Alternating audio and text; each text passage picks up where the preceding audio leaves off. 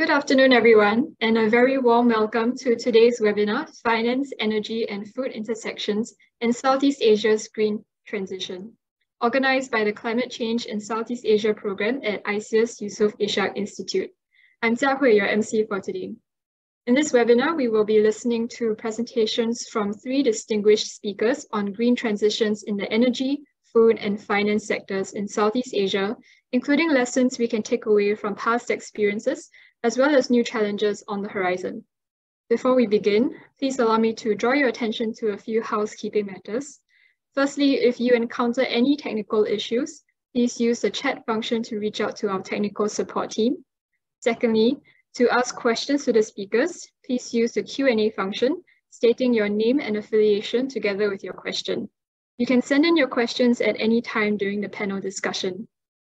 Lastly, if you would like to stay informed on our program's activities, do sign up for updates at the URL bit.ly slash ccseap mail M-A-I-L, uh, which you can also find the link in the chat box. Thank you for your cooperation. Without further ado, I would like to introduce our moderator for the session.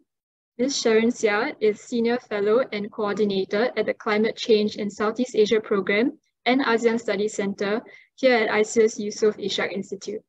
I will now invite Sharon to begin the webinar. Sharon, please. Thank you, Jiahui, and a very warm welcome and good afternoon to our um, audience tuning in from all parts of Southeast Asia and as far afield as um, Europe and Japan. And um, in fact, I saw someone from the US, but it would be 3 a.m. right now. But if you're online, a very good morning to you.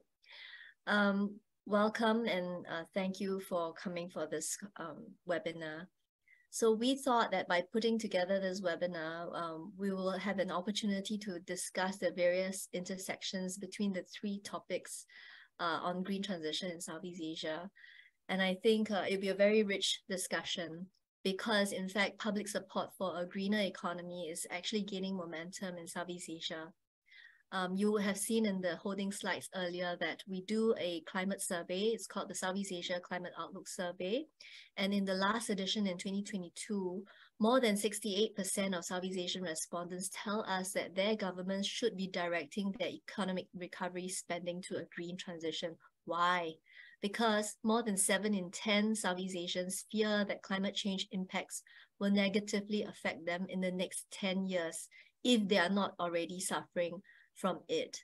And we know from reports that every year Southeast Asia takes front row seats in the climate catastrophe that's unfolding.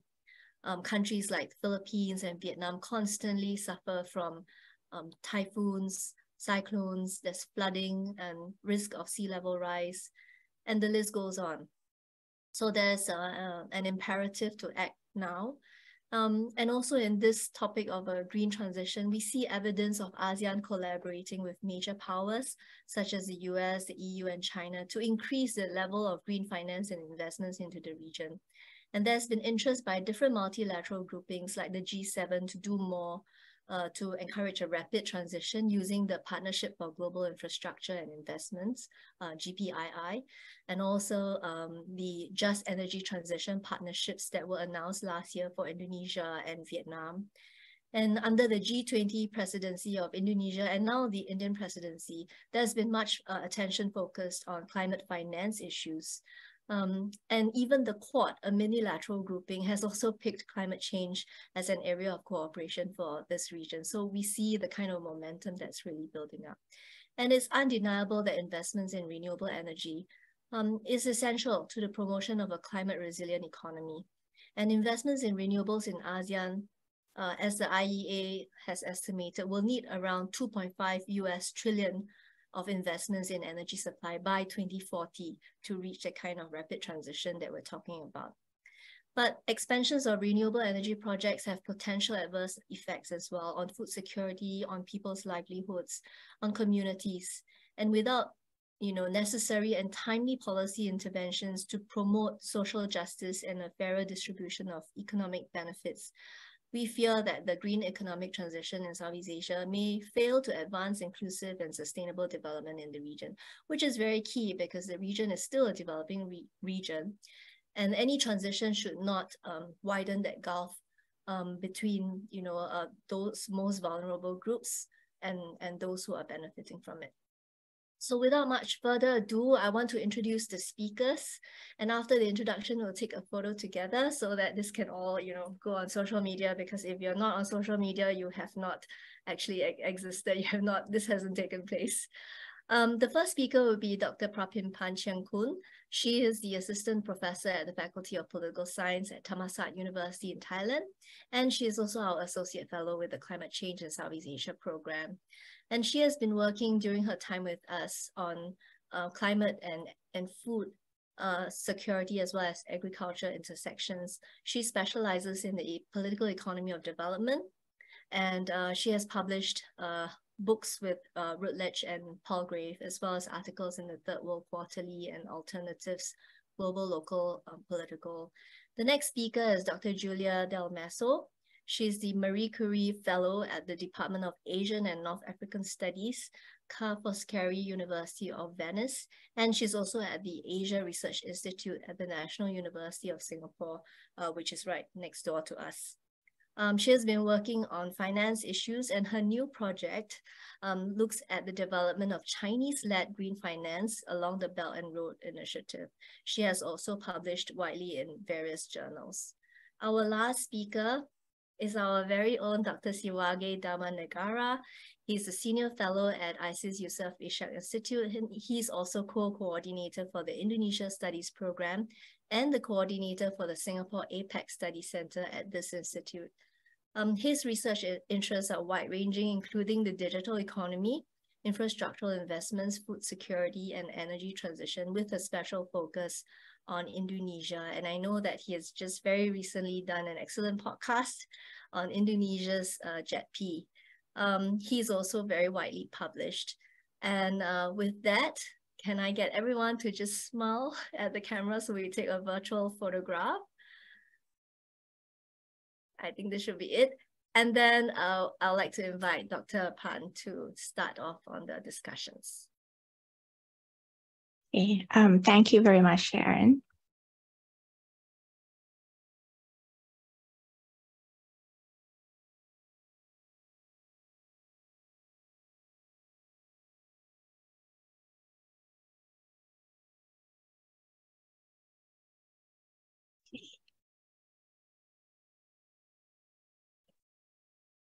Okay, so good afternoon, everyone. Thank you for joining us here today. My presentation today will be based on a research that I've started last year as a visiting research fellow at ISEAS. But um, in the introduction slide, I will draw a little bit on some materials from my previous research at Thammasat University.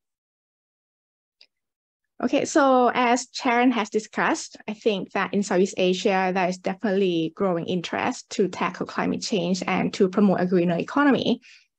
And many countries have been collaborating with major powers to increase green finance and investment in the region. And later in this webinar, you will hear from my colleagues who will discuss in particular the Belt and Road Initiative and the Just Energy Transition Partnership. Now, like many people in the region, I do not think that it is in the best interest of Southeast Asian countries to choose sides in the ongoing geopolitical tensions between the US and China. And in my previous research before joining ISEAS, I argue that geopolitical rivalry and competing infrastructural initiatives have actually increased the bargaining power of smaller countries, including in Southeast Asia, uh, where development opportunities have now increased but it is uncertain whether Southeast Asian governments will fully take advantage of this opportunity to promote green transition, and if so, to what extent? Okay, let me point out that um, ultimately this is fundamentally um, a political issue because whether a Southeast Asian government supports green transition or not depends on the strength of civil society groups and political movements in that country, and also the extent to which they put pressure on the government to support a green and just transition. I also want to argue here that attracting external finance and support for renewable energy investment is only one part of the story, um, and that Southeast Asians should ask some difficult questions about what types of green investments are being prioritized and who will benefit or be adversely affected by renewable energy transition. In addition to that, um, Southeast Asians should be more proactive in framing the discussions about just transition and green economies rather than let national elites or other major powers decide what energy transition and green economies supposed to look like.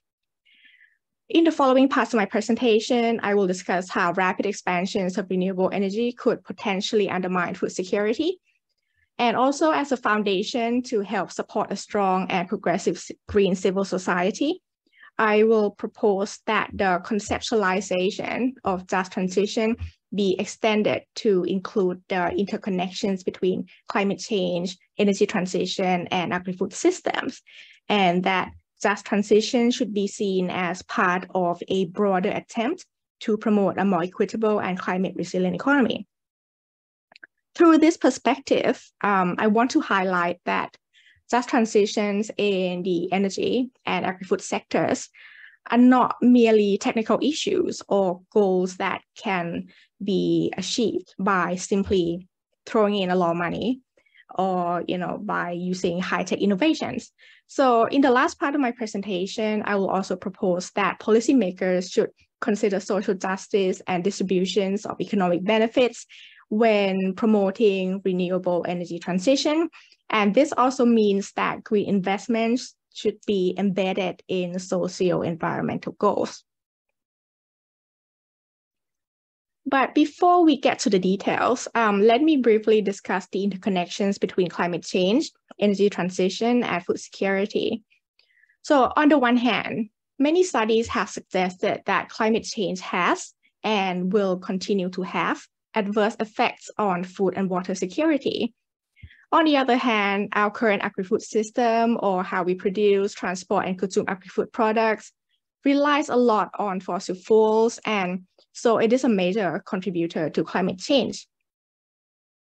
What this suggests is that as the effects of climate change become more apparent, achieving food security in Southeast Asia is going to be a much more challenging task. However, this doesn't mean that um, we should simply increase the quantity of major food crop, crops by any means necessary. Um, and this is because there's also a pressing need to transform our agri-food system to both mitigate and adapt to climate change and to also promote biodiversity and long-term ecological sustainability. And obviously, we need to uh, speed up renewable energy transition but it is well established that um, many forms of renewable energy have rather large land footprints. And this means that the expansion of renewable energy compete with agri-food production for land and water resources. And in many cases, the, the competitions for these resources can lead to social conflicts. In Southeast Asia, um, renewable energy projects such as hydropower dams and biomass plants have um, often caused um, adverse consequences. Um, land use changes involved could, for example, undermine biodiversity, increase competition for water usage, dispossess farmers off of their lands, and cut off local communities access to common lands where they used to gather food and fuels from. And many people are concerned, for example, how hydropower dams in the Mekong River will reduce the variety and quantity of fishes in the river, uh, which are the main sources of protein intakes for the local populations in the area. And in the next presentation, my colleague Giulia will also discuss how the floating solar project at Sirindhorn Hydropower Dam in Thailand is built upon decades-long unresolved social conflicts with um, the local populations. Another issue to consider is the consequences of the mining of critical minerals um, that are needed in the production of renewable technologies. In Indonesia, Myanmar, the Philippines, and Thailand, uh, for example, Um, these are the countries that are rich in critical minerals, such as bauxite, nickel, and tin.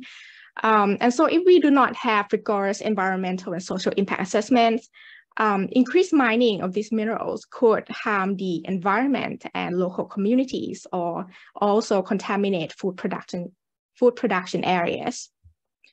Additionally, um, in one of the ISEAS perspective pieces that I wrote last year, I discussed the um, consequences of biofuel production in Southeast Asia. Countries such as Indonesia, Malaysia, and Thailand are now major producers of biofuels, and their renewable energy development plans rely significantly on biofuels that are derived from food crops, such as sugarcane and oil palm, um, the problem is that increased demands for these food crops could drive up food prices and hence undermine food security. In addition to that, uh, the increase in the profitability of energy crop farming has also led to an increase in large-scale land acquisitions, and that often lead to violence and social conflicts in Southeast Asia. So given the food energy connections, um, I propose that the conceptualization of just energy transition be extended to include the effects of renewable energy expansion on land use, food security, and other adverse consequences on the local populations. Um, because like usually when we talk about policies to promote just transitions, we tend to just focus on policy to help compensate or retrain workers in the fossil fuel industries and perhaps policies to create decent jobs in the green sectors. But if rapid expansion of renewable energy by any means necessary aggravate hunger and impoverish a large number of people, then obviously that process can hardly be called just energy transition. I think it is fair to say that uh, in Southeast Asia, policymakers encourage green investments based on conventional way of thinking. Um, they might be centrally concerned with how these investments can contribute to energy security and economic growth, but are less concerned with social justice and inequality. Countries such as Thailand, Indonesia, and Malaysia, for example, are aiming to become major producers of electric vehicles in, in hope to economically benefit from the global shift towards greener economies.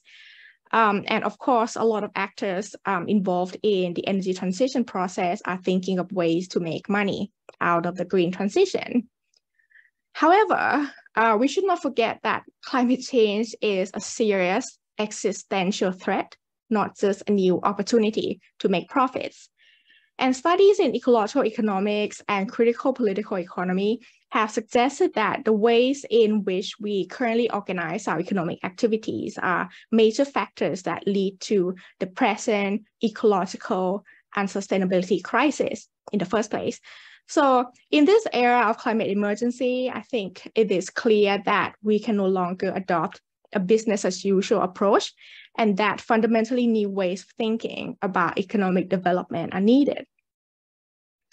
There are many other people who have written on this issue, and I'm also developing my thoughts, but um, in this last opinion piece that I wrote for Fulcrum, I made some preliminary suggestions that uh, to promote a climate resilient economy, Southeast Asia should move away from gross domestic products or GDP as a measure of economic development because um, it doesn't capture sustainability or people's well-being. I also suggest that um, inequality reduction can significantly help to tackle climate change and support energy transition. And although I did not go into detail, I tried to discuss um, a little bit how there should be some reforms of global economic governance as well. So in summary, what I am suggesting here is that instead of using energy transitions to stimulate GDP growth, um, that transition should form a part of new economic models that prioritize human development and the achievement of universal access to basic needs, such as food and energy. And there are likely to be significant political resistance from those who lose economic benefits, but I believe we can make strong ethical and economic arguments that in the long run, a more equitable and green economy will benefit everyone in the society. And that's why it is a development path that we should all support. So I do realize that my proposals are very far from, from current thinking and practice in Southeast Asia. Uh, in Thailand, for example, the, the government still adopts conventional thinking as reflected in the case of Thailand 4.0 and foreign investments in renewable energy that uh, my colleague will, will discuss in the next presentation. Um, but I'm, I would argue that changes in people's economic common sense need to start from somewhere and the way we think about just energy and food transition is a good place to start. Okay, now let me discuss some policy implications based on this extended conceptualization of just transition. So to a certain extent, I do agree that just transition requires technological solutions such as to reduce the land footprints of renewable energy and to reduce adverse socio-environmental consequences in the agri-food and mining sectors. Um, however, I propose that Southeast Asian policymakers should go beyond the technical aspects to also consider social justice and distribution of economic benefits when they design policies to support energy transition. For a broad policy guideline, um, I propose that Benjamin Sovacool's four E's processes can be quite useful and it is also easy to, to understand. Uh, for example, um, in the planning of a new renewable energy project, uh, one should take into account enclosure or what resources are being captured, exclusion, who are being excluded from the decision-making process, encroachment, you know, what environmental damage will occur, and entrenchment, whether the projects will exacerbate inequalities. And after looking at the four E's involved, appropriate measures can then be taken, such as to include relevant stakeholders who were previously excluded, or to find ways to compensate those who are adversely affected, or identify other ways to address negative consequences. With regards to competing land use, uh, we should also make sure that large-scale land acquisitions do not violate customary land rights and that there are peaceful resolutions to land conflicts. Additionally, I want to propose that uh, more green investment should be directed towards the promotion of human development and the achievement of universal access to basic needs in the region. Um, this means that priority should also be given to um, investments in climate resilient agriculture, not just in renewable energy and green technologies.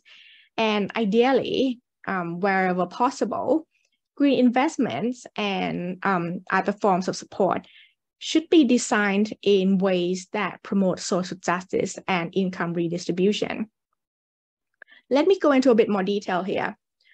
In another one of my ISEAS perspective piece published last year, I discussed how agroecology and sustainable agriculture methods can be used to increase climate resilience in agri-food production, and that Southeast Asian policymakers and other actors should not only focus on high-tech solutions in agriculture, but to also provide support to smaller actors.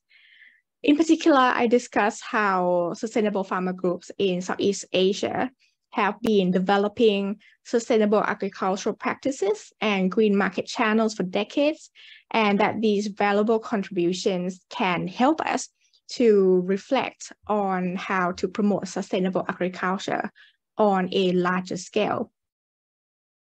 And to be clear, I am not advocating going back to traditional forms of agriculture, but to seriously utilize um, modern agroecological science, low-cost technologies, and socially embedded market channels in ways that will benefit smaller actors as well as bigger players in the agri-food sector. And recently, I also wrote another um, perspective piece that explores the use of renewable energy by rural farming groups and also the use of agrivoltaic systems where solar panels are integrated with farmlands to minimize the land footprints. Um, in addition to a review of their technical potentials, I also try to highlight socioeconomic considerations in the analysis. For example, I question whether the higher costs of renewable technologies will increase farm household debt. And I also draw on examples from other countries outside of Southeast Asia to show how agrivoltaic projects can be used to uh, support social goals, such as to promote food security and energy access for low-income households. Or perhaps these projects can be organized as energy cooperatives that share profits among members. So overall, these are just some of the examples of what we could be looking at if we want to embed uh, progressive social goals in green investments and green economic policies generally. Okay, uh, so due to the time limit, um, I'm I cannot explain some arguments and issues in detail, but most of the points I made here can be found in some of my writings for ISEAS, or perhaps we can discuss some issues further during Q&A. Thank you. Thank you, Pan. I want to now invite Dr. Uh, Giulia to make your presentation.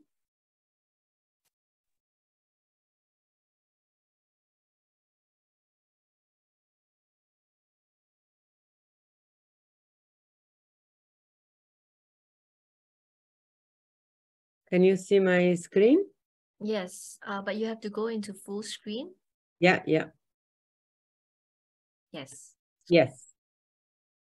Okay, well, first of all, thanks so much for um, invited me to this seminar. Um, and uh, Prabin presentation was uh, really great in setting, I, I, I think, the argument um, for this debate. Um, uh, she provided a great overview on the complexity of energy transition and really uh, in-depth and much uh, needed reflection, I think. So today I'm going to be um, to present um, some pre preliminary findings of my recent fieldwork in Thailand. And uh, this is really part of a larger project um, which adopts an anthropological and a critical geography perspective to look at the deployment of green finance, Chinese-led green finance along the Belt and Road Initiative. Um, and so uh, the rationale of, of uh, the project I'm working on, it's really uh, to test and, and examine uh, the way they often uh, described as abstract world of finance really lands on the ground and so intersect with the building of material infrastructure. Um, and so what you'll see, what we'll hear uh, from my presentation is really um, the result of um, in-depth analysis of like a case uh, by case infrastructural project, uh, which, as I say, adopts an anthropological lens. So first of all, let me give you uh, an overview of what green finance is. Um, so uh, globally, what has been defined as green climate and sustainable finance uh, really has been promoted as the solution that uh, so the main solution that government and international institutions have chosen to tackle the climate crisis. Um, clean green finance has really embedded environmental policies into the wider process of financialization of capitalism. Uh, and it really promises to tackle um, the problem of climate change while continuing to guaranteeing future return, so economic profit. Uh, China is emerging as one of green finance leader in the global scenario. And despite being responsible for most emission in the world, it is also the country investing more funds in the energy transition, promoting practices of green lending, renewable energy technology, and so on. And so China was one of the first country in the world to release its own catalog, which is a taxonomy for green investment, which then uh, before the EU even and, and the US.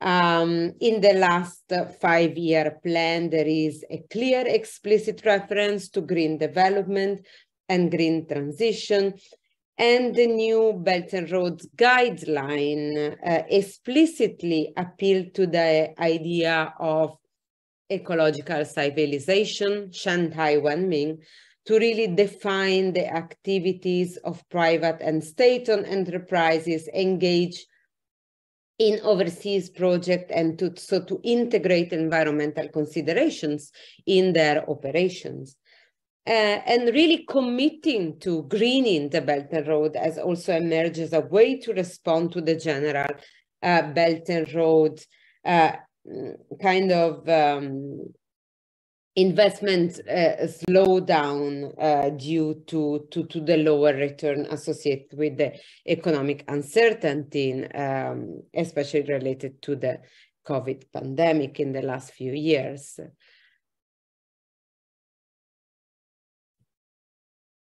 So my fieldwork um, in Thailand uh, uh, looked at the um, Chinese green finance um, focus on uh, energy and transportation uh, as major sectors. And it really looked at the way uh, Chinese investment has been a you know, engage in, in, in Southeast Asia, which is one of the region of the Belt and Road, receiving really more investment diversification uh, in renewable energy, and this includes solar, wind, and technology for electric vehicle. And really, China is playing a big role in reconfiguring Southeast Asian different power production and energy policies. Um, so my fieldwork in Thailand started exploring the way Chinese influence and investments intersect with new uh, with a new restructuring policy Thailand is undertaking under the 4.0 vision. Uh, this was advanced by the Thai government, the military junta that took power uh, with the 2014 coup and it was launched in 2016 with the aims of creating uh, a new economic model that would revive the country economic status after previous economic phases. And so to, to, to move the country out of the low middle income trap. And this really focused on a, a value-based uh, economy, um, which was then coupled uh, with the energy 4.0 vision that also include green uh, uh, finance, smart investment, and, and a focus on renewable um, technologies. And so in this context, the Thai government uh, um, institutionalized a feed-in tariff regime. Uh, this is a politic mechanism offering special prices and long-term contract to renewable energy producer Thailand Central Bank is working on its um, on its own green taxonomy and is now involving climate stress testing. Uh, Thailand launched a carbon credit market to become a carbon trading hub in Southeast Asia. Uh, here, big emitters uh, uh will be able to offset their carbon footprint by purchasing credit from company. Um, and here it should be noted that Thai, the um, Thai main public utility company, EGAT, uh, is one of the only uh, company that so far has been allowed to uh, issue renewable uh, certificates in, in Thai carbon market. Um, so this uh, ambitious uh, economic restructuring uh, also see the promotion of a spatial strategy uh, in the form of an economic corridor. Um, the Eastern Economic Corridor uh, Development Plan in Thailand has been developed has been developed by the government to foster uh, foreign and domestic actors um, involvement, attract investment, and build infrastructure to increase connectivity in the area. Uh, the area of the corridor historically hosted the U-Tapao uh, military base, which was a key military site during the Vietnam War and then during the Cold War. And and afterward this area beco- became like a logistical hub for industrial production mainly dominated by japanese and american investment that then in a way capitalize on previously existing uh, military infrastructure uh, in the last few years however um, and so in discontinuity with this past china has started to emerge as a major actor and what really stands out in the various projects of the corridor is the creation of a Sino-Thai industrial park. So the, the Sino-Thai Rayong Industrial Park, which I visited, and this is a zone which explicitly connect and refer to the Belt and Road. Uh, it offers uh, multiple tax exemption, exemption to Chinese enterprise. It also offers the possibility of land ownership to Chinese company, companies, which is otherwise um, very uh, rare. And so in the global renewable energy landscape, the Sino-Thai Industrial Park uh, is really becoming an important site for the global production of solar technology. Um, and this, of course, has not only favor uh, Thailand ambition to build renewable, a renewable energy uh, future by guaranteeing the availability of Chinese cheap solar technology in-house, it has also offered Chinese manufacturers a production site to, in a way, you know, bypass American sanction on their products and components. And so by visiting uh, the park, I found that four of the major Chinese uh, PV solar producer manufacture and assemble their product in Rayong. And so this uh, um, uh, this uh, uh, Sino-Thai uh, cooperation and the deployment of Chinese solar technology is visible in one of Thailand recently constructed flagship project, which is the construction of the largest solar floating platform in the world. And this is a solar farm covering the, the same area as something like 70 football pitches um, which was built on the reservoir of Sirindhorn Dam in northern East Thailand. And the project claims to be the first uh, um, and, and the largest of this, of, of this kind, matching a hybrid solar hydro uh, energy supply by day and night and the dam was financed by Thai Public Utility EGAT in partnership with Energy China as constructor and Thai uh, German uh, company B.Grimm. And so through this consortium, EGAT is then planning to build uh, solar floating farms on the top of other um, dams reservoir across Thailand and Laos. So it's a model which is uh, which will be reproduced.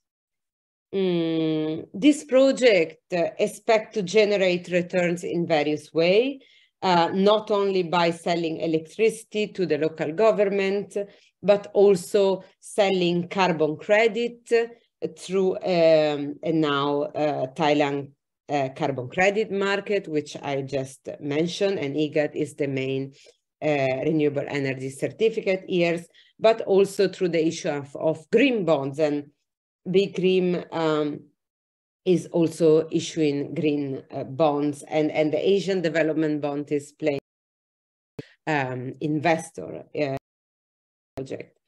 And so the solar kind of solar floating project con con configure in the form of an infrastructure on the top of another infrastructure where new technology provides a kind of a new layer to provide, to generate future income and almost a, a new cosmetic layer to a, a, kind of an outdated and, and now uh, heavily critis criticized infrastructures as, as hydro, as uh, the previous presentation uh, pointed out. Um, so Sirindhorn Hydro Power Dam, as many other dams, uh, carries a history of conflict that lasts until today. Uh, the dam was originally built in 1971 by EGAT, uh, thanks to loans provided by the World Bank under American influence in the Cold War context. And as other dams in the region, um, it kind of carried uh, geopolitical purpose.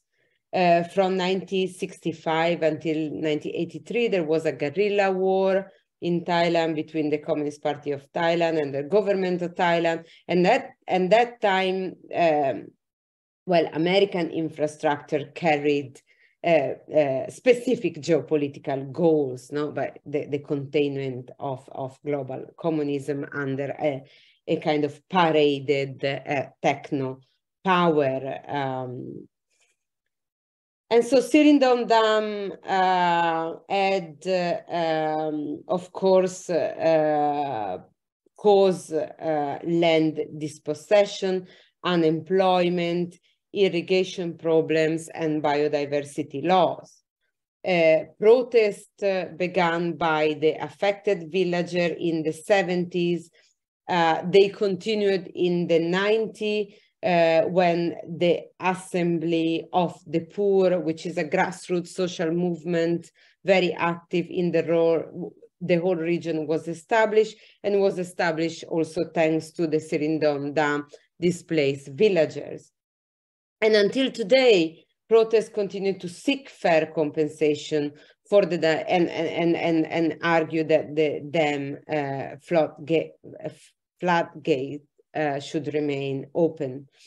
Uh, and a few months ago, uh, while I was there, protested had camped for a week in front of EGAT, and they were still claiming for compensation after more than, than, than 50 years. And so in a way, they they they hope to leverage on the fact that the dam was on the global spotlight for that uh, solar project uh, uh, promoted everywhere as as a virtuous uh, green infrastructure and so here just as some uh, concluding remark uh, Chinese-led uh, green finance engagement in Thailand seems to intersect with existing power hierarchies and policies that enable form of capital extraction and accumulation. And this is shown by Thailand 4.0 and strategies, special strategies like the Eastern Economic Corridor. Uh, states here play a key role in the development of legal system, industrial policy, public-private partnership that allow the building of green infrastructure and thus enable future revenue stream through uh, uh, green finance instrument. But in so doing, they also enhance process of uneven development and concentration of power as um, uh, previous work has underlined. Uh, the new green finance apparatus and Russian renewable in Southeast Asia seems to organize around and give rise to political alignment that retraced post uh, geopolitical and, and geoeconomic rivalry, but they also shape new one. And this, in a way, happens through the uh, paraded neutrality of financial instrument uh, that promises to deliver clean uh, and green future income stream. Um, but the power infrastructure I've shown really, in a way, calls to reflect on the relationship between green finance and, and what anthropologist Dominic Boyer and geography Thomas, Timothy Mitchell call the messiness of uh, energo power. And despite often masked by green technical and development discourses, green finance and its rhetoric seek to silence uh, past um, injustice and local struggle. Uh, but the good news is, as this case study has shown, is that uh, it is also reviving new action from below as the mobilization of local community uh, claiming for their lands uh, and right as shown. Uh, and I'll stop here. Thank you very much. Thank you so much, Giulia. That's a lot to, to chew on and so much information that we have to go over later in the discussion. Um, and now I invite um, Patwage to deliver your presentation. Uh, thank you, Sharon. Uh, let me share my screen.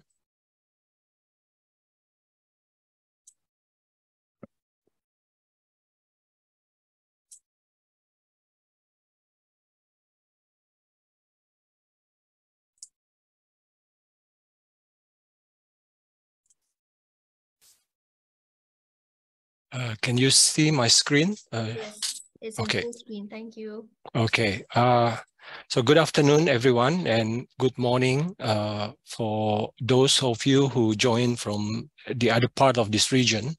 And yeah, I think I have uh, received this uh, very challenging topic to present on the energy transition program. this is a pertinent and timely uh, topic, but at the same time, we all know that this is a big and complex topic to cover. So within the next uh, 15 minutes, I'm trying to provide some macro policy view on the challenges and also outlook of Indonesia Energy Transition Program.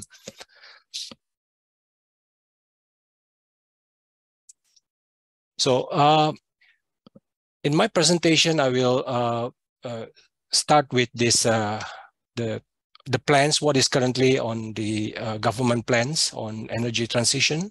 And then the, I will uh, discuss about government policy. And after that, we'll also uh, give some uh, uh, highlight about what are the public Indonesian public perceptions on this energy transition. And then after that, we'll uh, talk about the challenges with regard to the, the the program and also uh, on the prospect outlook of this uh, implementation. So uh, what is in the plans? Uh, as we know that Indonesia has committed to reduce its greenhouse gas emission by 29% uh, with its own effort, uh, so by 2030. And then the country also committed to achieve net zero carbon emission by 2060 and then Indonesia also has the target to increase the shares of renewable energy from the current uh, level of 12% to 23% by 2025 then uh, increase further to 32% by 2030, and then 69% uh, by 2060. So uh, Indonesia has a, a, plan to phase out its uh, coal-fired power plants by 2050. And then at the same time, the country also thinking about early retirement of uh, one third of the current coal-fired power plants. And uh, Indonesia uh, has also another uh, programs to support the uh, energy transition through the use of biodiesel and then the promotion or the development of electric vehicle. Uh, the country also plans to launch the national carbon market by 2025. And finally, there's a a program to accelerate the development of the coal downstream industry. So uh, this is to uh, in, improve the uh, efficiency of uh, the coal industry and uh, reduce the emission.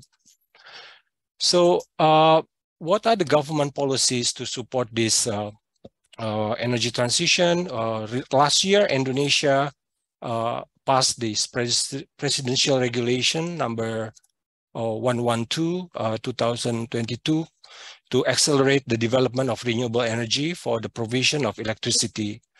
So uh, in this uh, regulation, there is a, the decision that the Indonesia will not construct a new coal-fired power plant but there's a condition that uh, there's some exception that in some industry, strategic industry, or in uh, certain sector that related to the uh, mineral processing, uh, the government still allow this uh, develop the use of coal-fired power plant. And then currently the parliament and the government uh, are discussing about the renewable energy law.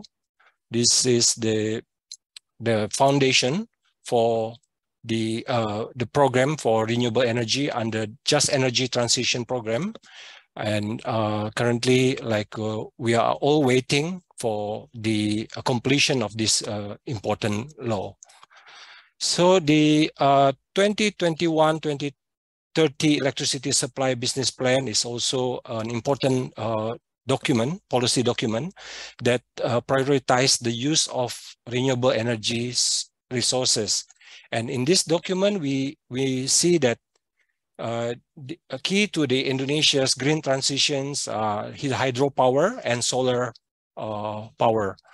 So in this uh, plan, uh, Indonesia uh, will develop more hydropower at the level of 10, 10 gigawatt and for almost 5 gigawatt for hydropower and solar power respectively. So in 2021, uh, the government already uh, allowed the uh, foreign direct investment in renewable power generation and distribution. So 100% for foreign investment in this area.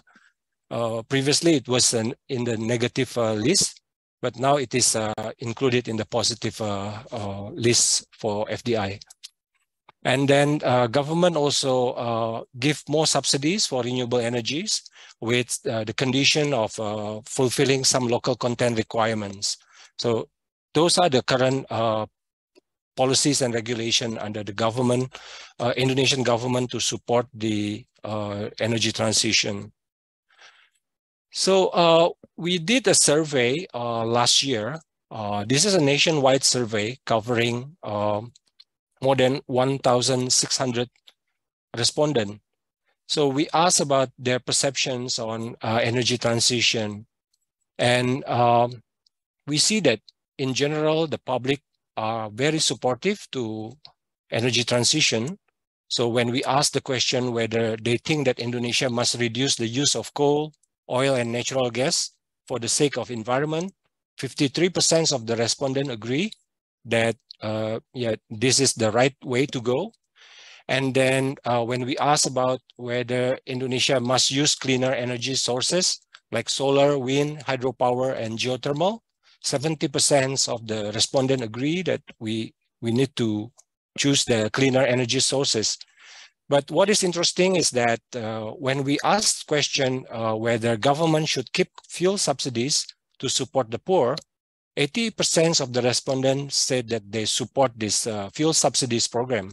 So uh, it seems like there's a contradiction at the, uh, on one hand that the public wants uh, in Indonesia to join the programs of uh, energy transition, but at the same time, they also wants the government to keep this fuel subsidies program for supporting their uh, life, uh, the well-being of the people.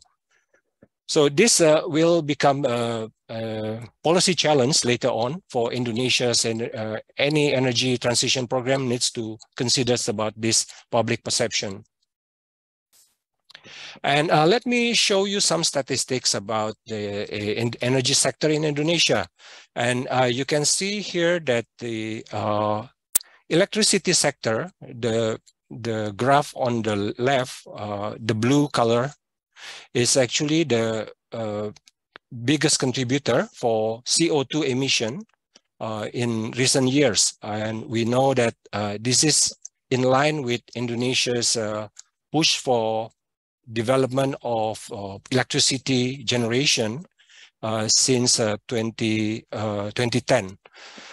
so what happened is that when Indonesia built more coal-fired power plants, then at the same time, we also produce a lot of CO2 emission. And at, at this uh, moment, uh, the the elect at that time the electricity uh, production was planned to to fulfill the demand and that uh, the demand was uh, projected based on the assumption that the economy will grow uh, about uh, uh, uh, about 5% to from 5 to 7% growth. So what happened is that nobody knows that there, there, there was a pandemic that affect the, the electricity demand in the country. And we can see that uh, the electricity generation, the, the, the production has been uh, consistently above the demand. So uh, currently Indonesia have an oversurplus of uh, electricity uh, production. so this is the thing that quite challenging for the state-owned electricity company, given that they need to make sure that the this electricity electricity uh, supply can be uh, channeled and also uh, uh providing the room to uh, for renewable energy uh, to come in. So in, in the next, I think a few years, then the state-owned enterprise in the electricity company needs to think about how to deal with the electricity oversupply and then also how to generate this uh, demand for, for electricity from renewable energy. Uh, then uh, we see that Indonesia will continue to rely on coal as a key energy supply in the next uh, uh, few years. This is uh, because if we look at the current electricity plan of the state-owned electricity company or PLN uh, for the next uh, uh, 10 years, the government is targeting about 40 gigawatt for power capacity. And uh, we see that the composition in this electricity generation uh, still uh, dominated by coal and gas. And the re renewable capacity is estimated to be about 19 gigawatt. So um, there's a challenge how to uh, shift from coal dependency to uh, more renewable and energy uh, uh sources. So uh, the information from the Ministry of uh, Coordinating Economic Affairs shows that Indonesia needs fund, a lot of fund to basically compensate for the coal phase out until 2029 in the range from 9.5 billion to 25.7 billion US dollar. So uh, I think uh, this is the the big uh, big challenge for the government and also the, all the stakeholders how to get this uh, funding to uh, to expedite the uh, phase phasing out of coal-fired power plant. And, and if we look at the subsidies, uh, I think in recent years, we see that the uh, increase in energy prices, uh, including like uh, oil, gas, and coal, that, that actually have uh, an implication to the energy subsidies in Indonesia. And uh, for for PLN, the state-owned electricity, they face the problem that uh, now they uh, they need to uh, secure the the supply of coal in in domestic for domestic use given that the, the high energy, uh, the high coal prices internationally and the low price domestic uh, in uh, domestic price that uh, makes the incentive for coal uh, mining to sell to PLN becomes uh, relatively low. So there's an issue with this coal supply but the government then provide this uh, policy for domestic uh, market obligation for the uh, coal mining companies to uh, uh, provide sufficient supply for electricity uh, consumption. But uh, the point that I would like to make here is that uh, given the higher energy prices internationally, so Indonesia will have to prepare for increase in terms of energy subsidies if the government continue to maintain the lower energy prices in the domestic market, then it means that it needs to be ready to pay more subsidies for uh, supporting these uh, low uh, energy prices. And we can see that the, the pressure on uh, fiscal uh, space has been uh, quite significant since last year. And yeah, I think at, at the moment, uh, the government is thinking about how to better target this energy subsidy. So uh, another challenge that Indonesia face in terms of energy transition is that the, the price for energy transition is not uh, cheap. So Indonesia needs to find financing to support especially the uh, energy and transportation sector. So this this table comes from the uh, uh, second biennial update report on and roadmap of nationally determined uh, contribution mitigation uh, 2022. So in that document, it is mentioned uh, that uh, in order to achieve the emission reduction target, Indonesia needs about 250 billion uh, in the energy and transportation sector to support this uh, the energy transition or the uh, decarbonization in the energy and transportation sector. And how can this uh, uh, be achieved? How can we, uh, Indonesia get this financing? Then this is currently under I think the the discussion within the government and also international community the government has already uh, talked to the multilateral financing organization like ADB and World Bank, and there's a, a program or uh, so-called energy transition mechanism to support this uh, phasing out of coal. And then uh, Indonesia is also preparing for programs uh, to be funded by Just Energy Transition Program. And yeah, I think there's those are still under negotiation and under uh, preparation. So we, we still need to wait and see how uh, how uh, uh, can uh, quickly come up with these uh, concrete plans how to to basically reduce this emission in the energy and transportation sector. So on the outlook and yeah, this I think for for the time being, uh, given the vested interest in the sector, especially in the uh, coal uh, and uh, oil and gas sector, uh, we should expect that gradual changes are more likely than revolutionary one. So uh, it doesn't mean that we cannot be optimistic, but given that Indonesia is going into political year, an election year next year. So there will be a change in government and we need to make sure that there will be a continuation from the current government to the next government about their commitment for uh, yeah, pushing for energy transition and achieving the uh, climate target that uh, the current government has already uh, committed. So government uh, needs to create this uh, clear regulation and a clear uh, law to, to provide incentive for renewable energy uh, players to come in and invest. So uh, this means also that uh, the government needs to gradually shift the fossil fuel subsidies to renewable energy investment and R&D.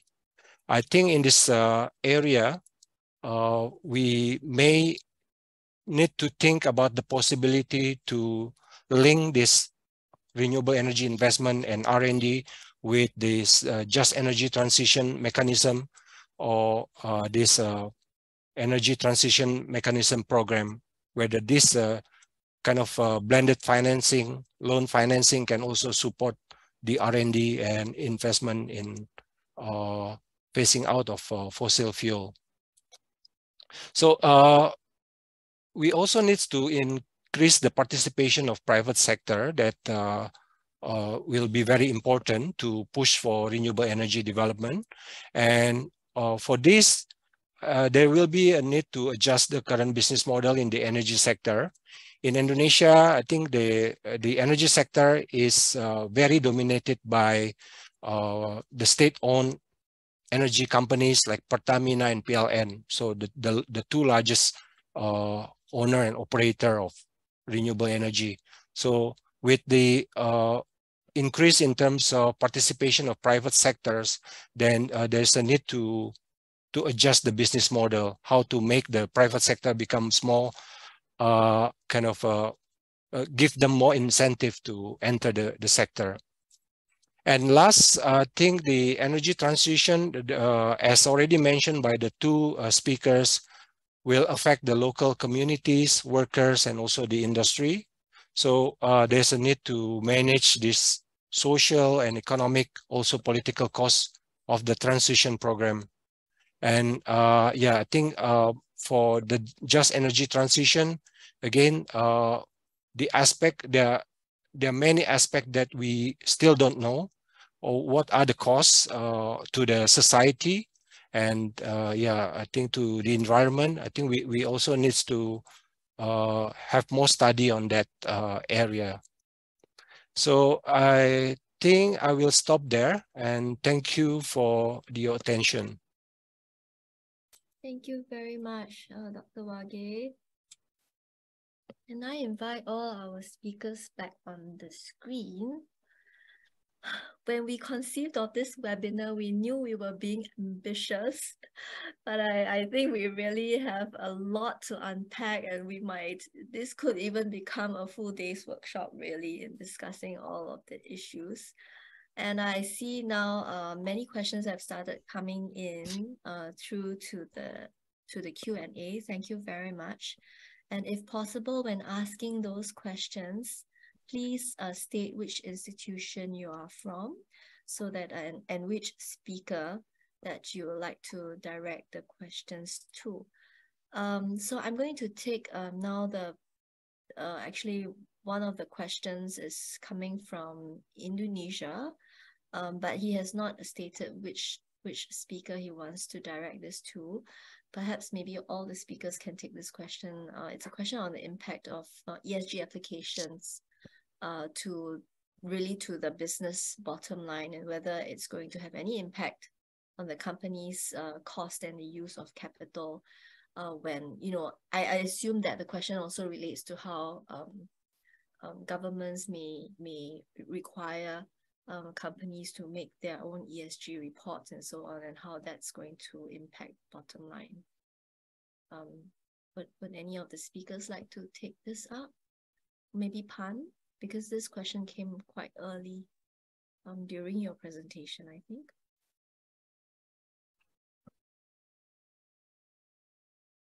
Okay, so um, I haven't done research on ESG, so I would um, rather not answer. But I mean, if that's anyone else who would like to answer, please go ahead.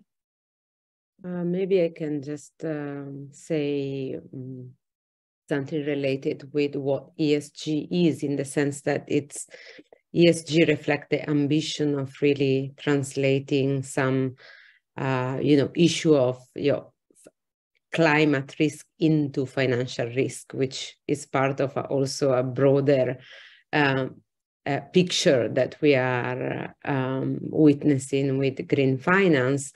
But the trans this ambitious translation of how climate risk really uh, impact on uh, financial activity, um, it very much depends on regulation, as Sharon was saying, but also on, on what kind of third-party verifier are put in place uh, um, and and so how you know this this kind of assessment are undertaken. Thank you. Yeah, actually, uh, for us, the ESG arena is a very complicated and complex one, and also it is at risk of a lot of greenwashing. So the kind of research that you can do in the area of ESG is um, really highly contested. Um, the next question is actually for Dr. Prapimphan.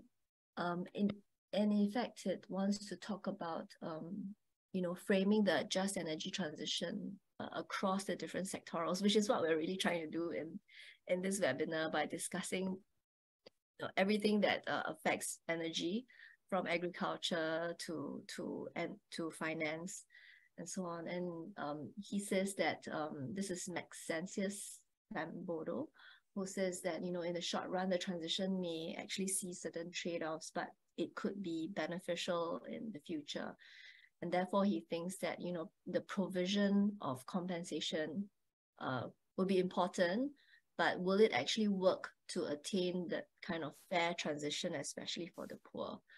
Um, I think this is a question maybe directed at uh, Prapimphan, and also part of Giulia's presentation uh, has touched upon, you know, the the Assembly of the Poor in Thailand um, um, seeking uh, compensation and seeking redress for the conflicts that's happened. Okay, so um, thank you for the, the question about um, fair compensation. So um, I think we probably need to look at it on a case by case basis, but off the top of my head, I think that um, to have fair compensation, we should um, at least make sure that these two conditions are met.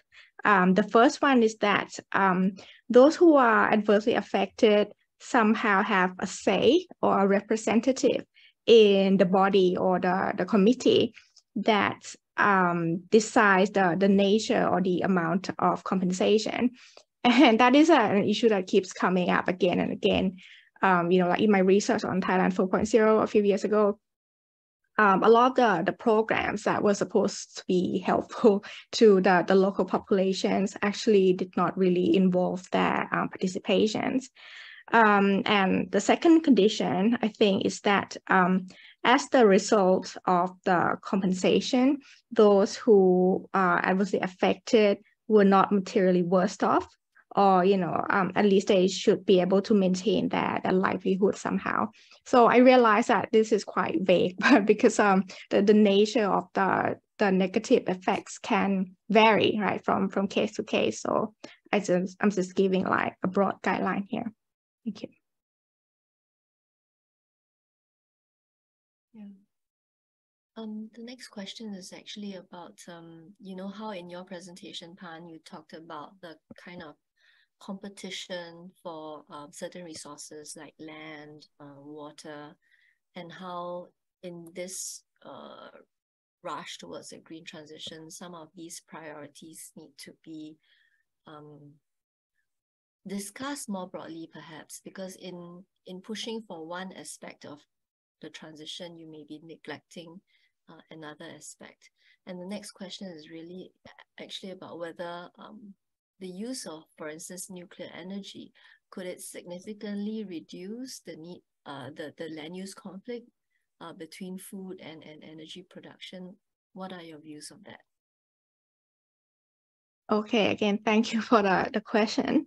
Um, so I take this question to be mainly about, you know, whether I support nuclear power or not to reduce um, land footprints.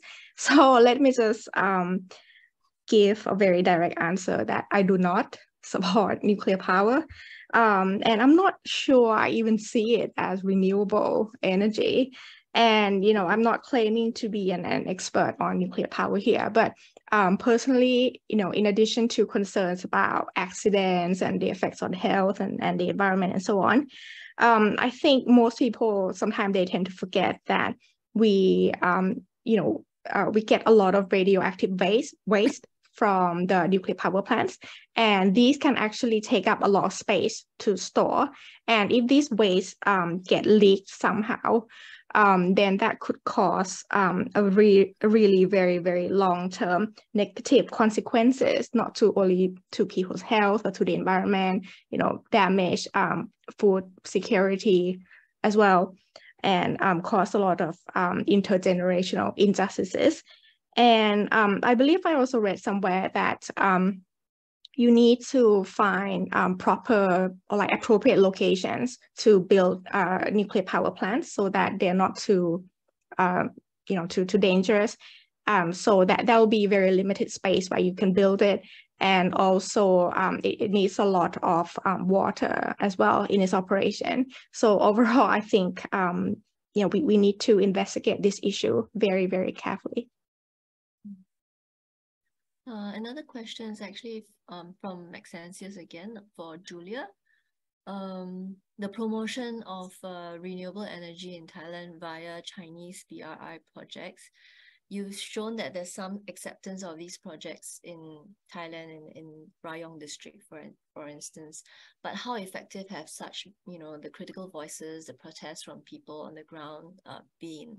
Have they actually effected any change towards the projects? Has it um, has it resulted in a, a, project design change, for instance, as a result of these uh, protests? Um, uh, well, first of all, I, I think uh, it's important to underline that I think that uh, Chinese intervention um, in this kind of infrastructure is no different by um, other actors' intervention. So I don't want to, you know, um, focus on Chinese kind of uh, uniqueness. Uh, this kind of project, uh, I mean, the, the, my research stem from a perspective of like the initial hypothesis of investigating Chinese-led green finance, but then, you know, research show that infrastructure are then the result of like multiple um, uh, agreements and and uh, um, investments from multiple actors. Uh, so I, I, I didn't really show that there was a downs from the community. I show how like that particular uh, kind of uh, restructuring of like an old hydro dam through this uh, um, solar floating project, which is a really ambitious project that has been launched in Thailand and China has been a key part of it as kind of renewed older protest, so to speak. Um, and uh, um, I think now um, as we were discussing at the beginning of this seminar, as from Sharon introduction, the fact that green finance is gaining momentum in the region, there is a lot of debate going on. Uh, I've seen um, debate around how to build uh, green taxonomies uh, for Southeast Asian countries. Um, and I've seen how some NGO, like for instance in, in Thailand, Fair Finance is very active, uh, which works in, in tandem with International Rivers, uh, are uh, making the effort of, you know, um, kind of issuing their own taxonomy, uh, which is, if you want to maybe call it as, as, as a bottom-up taxonomy, which, which also include um, some um, local uh, knowledge no? In in the building of this uh, uh, green taxonomy green investments that are recipes for energy transition. And as a recipe for energy transition is really important that they include voices on the ground as we were as Prapimphan was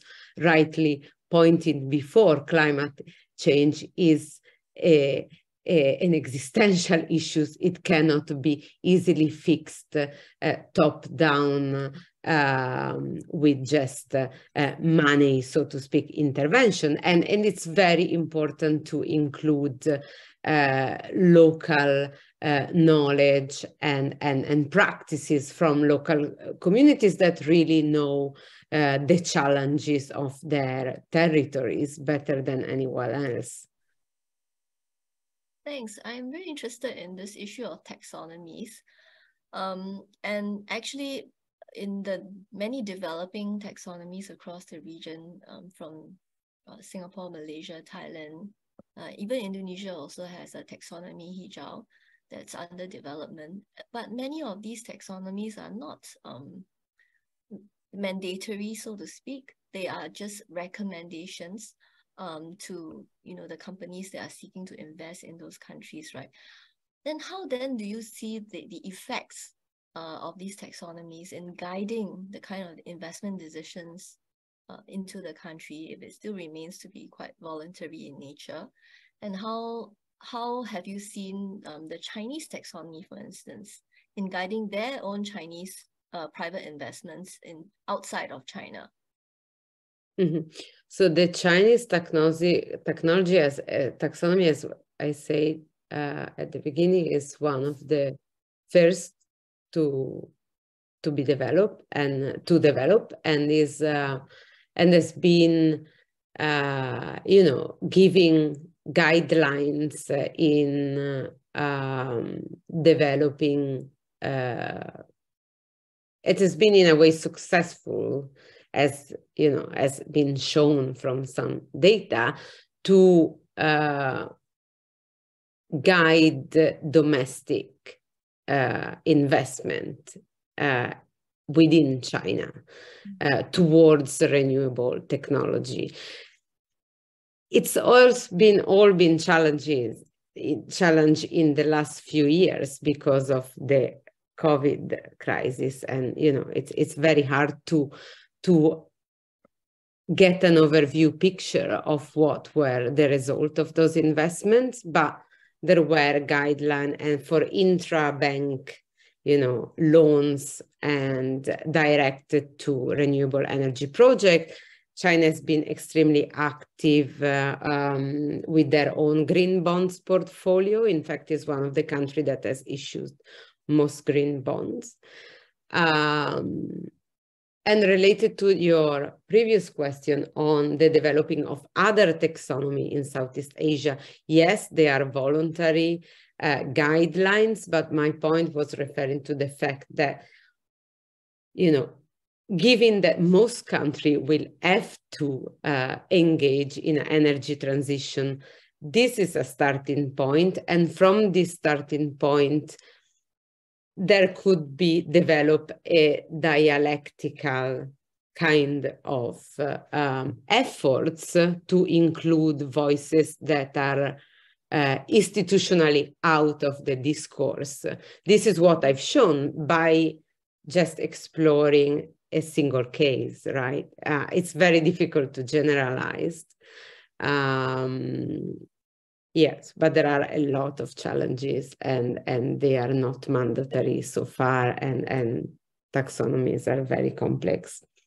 Uh, classification of investment that very often you know reflect also vested interests in some countries so yeah so at some point do you see a possibility of harmonization of the classifications, for instance, or of the principles and standards in taxonomies? I think there are certain, I think this is a deeply, uh, I mean, existential issue in the sense that how do we translate uh, um, something as complex as and universal as climate risk into specific local contexts. So this is something that should really be um, discussed uh, at a global level. I think we should have like clearer regulation on on one hand, uh, how to uh, build together infrastructure uh, for energy transition, but also how to include local population in the in decision making. Because, as I was saying before, local context and indigenous knowledge, even so in some is is key to then really um, provide and determine effective policies at a local level. Thank you so much. Um, Move on to the many questions that have actually come in. Um, there's an, a question for Dr. Siwage um, about the regarding the draft law on renewable energy. Do you think this draft law will only focus on renewable energy, but will or will it also cover new sources such as nuclear, coal gasification, and other new or high value fossil based sources? Uh, yes, uh, thank you for the question, uh, Max. Uh, yeah, I think uh, Max is our former visiting fellow. He's actually an energy expert, and I believe that he he knows more about the the draft of the renewable energy law. So I haven't really uh, seen the draft yet, but I think this renewable energy will intersect with other sector, even like the fossil fuel or oil and gas sector and uh, other other related sector. So if we uh, if the government only focus only on renewable energy, then it may uh, have uh, its own challenge when it comes to the implementation. So uh, Ideally, this uh, renewable energy law has to be uh, harmonized with other laws uh, uh related to the mining sector, uh, related to the oil and gas sector, related to the industry, uh, in industry and other sector, transportation. So, yeah, I think if we, we only focus on just renewable energy, then there will be a, a problem later on. Mm. Mm. Thank you. I, I, I will direct all the Indonesia questions to Dr. Siwage first. Um, this is a question from Joy asking uh, whether you have any views on the possible impact of the coming elections in Indonesia on the energy transition plans. I'm also curious to know whether um, in Indonesia, these sorts of discussions will, will make its way into campaign promises or not. Yeah, I think uh, the renewable energy law will be the uh, kind of the uh, game changer. So if the current government manage to pass this renewable energy law within the this uh, period before the new government come in, then we may have some optimism that the new government will continue uh, whatever the uh, commitment that the current government has already uh, initiated. So yeah, uh, we, we hope that this renewable energy law will be uh, passed as soon as possible so that the new government will continue the, with the uh, implementation. But yeah, again, the uh, political commitment is important. This is a long-term goals and uh, the law itself will not work without uh, the derivative regulation from the minister and directorate general uh, to implement the uh, the law. So mm-hmm. yeah, I think it's a long process, and uh, we we will wait uh, until yeah until there's a yeah the, the, law has been passed by the the government and the parliament. Mm. Another Indonesia-related question comes from Amy Chu of Nikkei.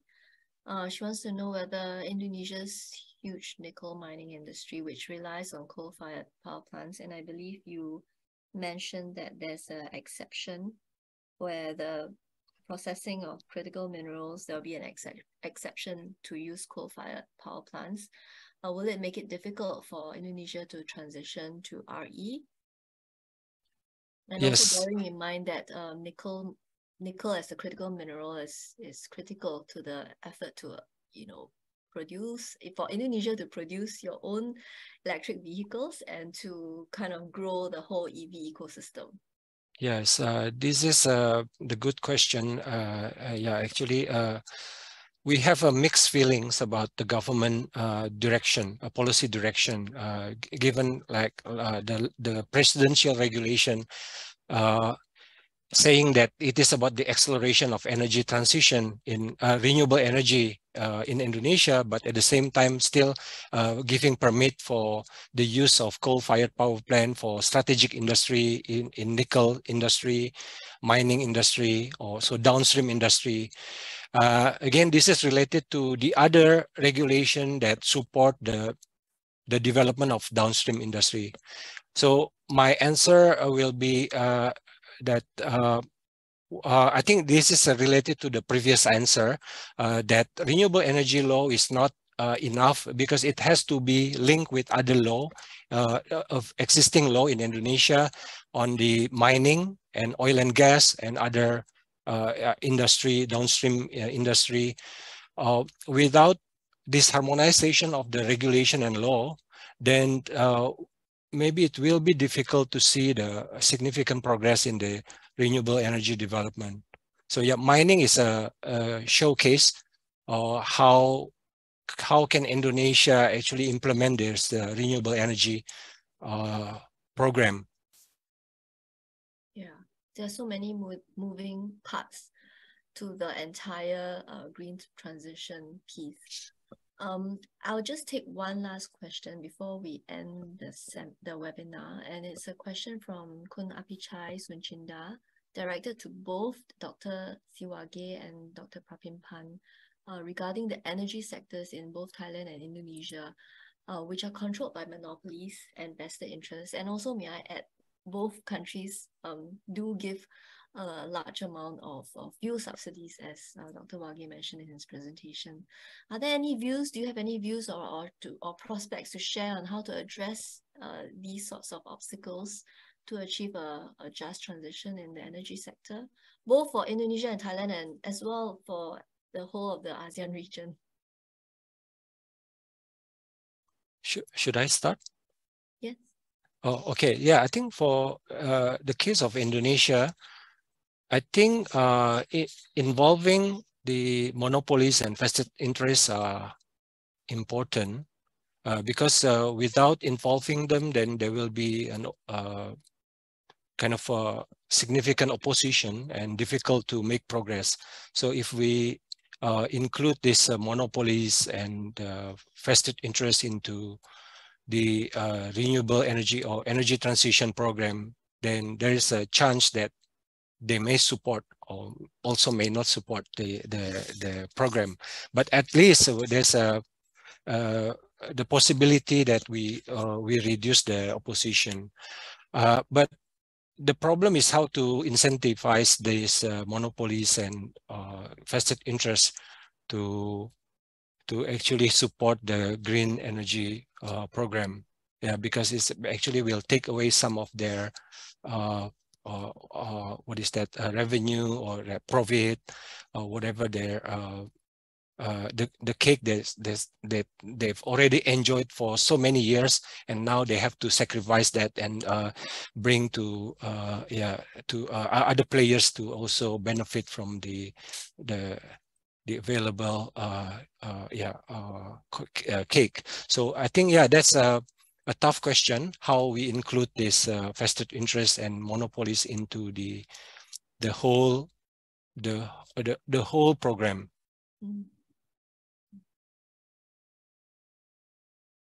Okay, so I think um, I'm a bit less nice than Dr. Siwage when it comes to um, um, monopolies.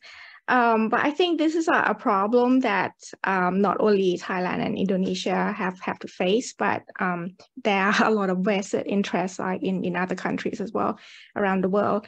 And, um, you know, in a way, I kind of tried to talk a little bit about this in the introduction of my presentation, that ultimately the just energy transition is um, a political, fundamentally a political issue. And I think that um, it's going to be very difficult, but we're going to have to try to develop a strong and progressive green civil society groups and, and political movements in in both countries and, and in the region that would um, try to counterbalance the, the power of these vested interests and um, you know put pressure on the governments to promote policies and, and regulations that will support um, just transition. But of course, I mean, like the um, the the progress in, in domestic politics can be quite slow. So I think another thing we can do is that um, to uh, to support um, transnational civil society networks that will put pressure on uh, multilateral banks and also um, you know uh, to to try to encourage other major powers to perhaps make a pact um, to stop funding um, fossil fuel projects in in the region, for example. So that is my answer. And I guess um, another point I, I haven't made here, and it's actually related to Sharon's um, latest article, I think, about obstacles to decarbonization in Southeast Asia. Um, you know, I really like the point you made about the um, the lack of political leadership in in the in the countries in the region. And I think we we do need um, strong political leaderships that will, you know, um, who you know leaders who are willing to do what needs to be done um, you know in, in the long term and try to bring the electorates with them rather than you know running after um, the uh, electoral um, you know the, the votes and, and short-term interest in in issues that are you know like um yeah i will not say anymore but um i think uh, i get my my point across. Thank you. Yes Thank you so much. Actually, there has not been a positive uh, leadership use case in Asia or in Southeast Asia for that matter to show that by taking by um, taking advantage of the first mover, you know, you use your first mover advantage in a climate transition, you could actually uh, bring longer term benefits to your country. In, instead, everyone is quite fixated on the short term pain of transitioning. So one, one of the clearest short-term pains and also evidenced by Dr. Siwage's survey is that the people are not willing to give up uh, the fossil fuel subsidies. But in actual fact, if there were a greater move towards a liberalization of the energy sectors, uh, in, because you cannot, like Dr. Siwagi said, right, you cannot take away the cake that they've been enjoying, the monopolies have been enjoying for a long time. Um, so instead of taking away the cake, you have to enlarge that cake. And to enlarge it, maybe one way is to liberalize uh, the sector so that more uh, it can become more diversified and more players can go into the sector to offer a greater array of choices uh, for the consumers and then eventually move the subsidies.